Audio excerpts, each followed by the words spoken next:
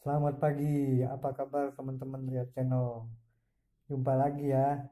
Kali ini tetap membahas soal ikan asin ya. Cuman campurannya dengan melinjo muda.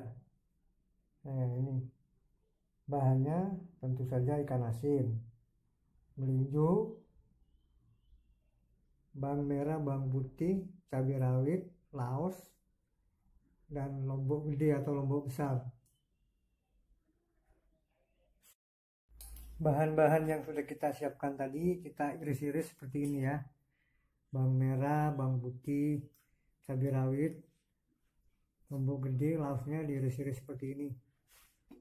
Kemudian melinjo mudanya itu kita rebus.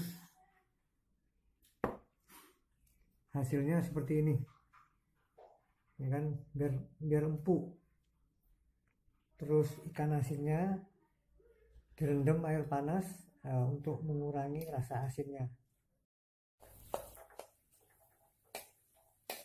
Bumbu tadi ditumis seperti ini ya. Nah tumis.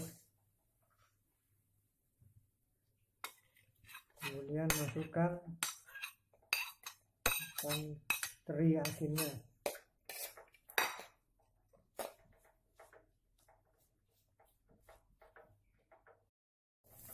nah sudah matang.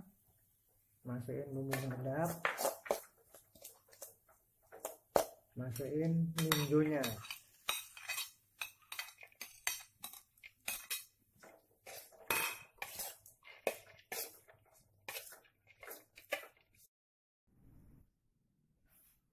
teri asin melinjo sudah masak dan siap dinikmati Selamat mencoba ya teman-teman. Semoga berhasil.